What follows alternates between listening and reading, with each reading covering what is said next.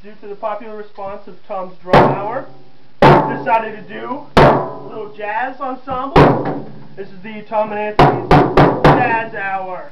Take it away, Tom.